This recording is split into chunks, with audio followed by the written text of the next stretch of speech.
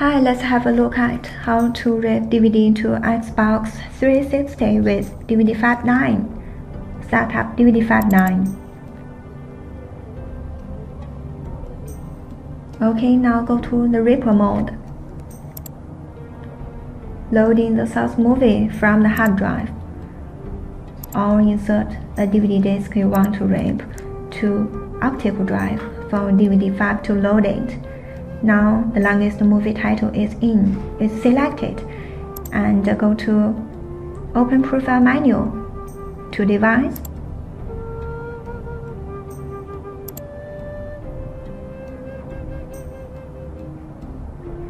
and choose Microsoft. To select, select Xbox 360 as a profile. Open the editing window to edit video codec encoding method, resolution, frame rate, video quality, split by chapter or not, to set audio parameters like sample rate, audio channels, bitrate, volume, and to change the information of the file name and title.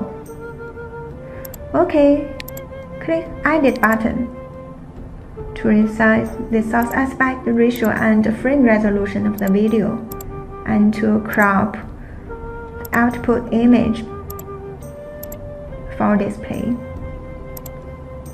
Okay. You can change the audio and the picture at here.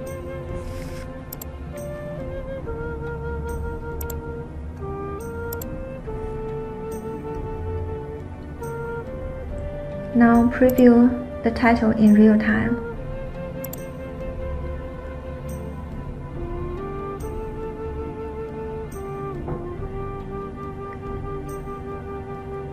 If all settings are OK, click that button. During the conversion process, you can monitor detailed progress information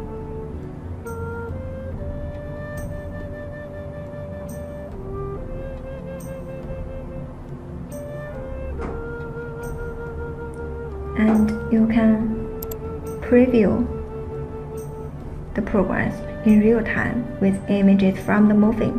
You can send exit program on auto shutdown for your PC when all tasks are done. Okay, now leave the rest to DVD Fab. Thanks for watching, see you next time.